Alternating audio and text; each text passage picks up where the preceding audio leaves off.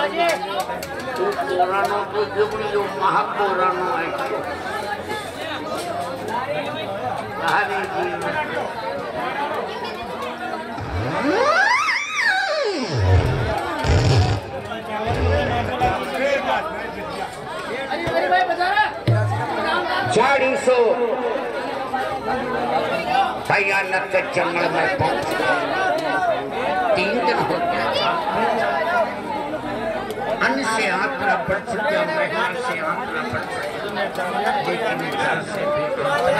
लेकिन से भी जो तो योग है वो माता जी की कृपा से बसा है ऊपर किले पर बैठी चामुंडा माँ की कृपा से जो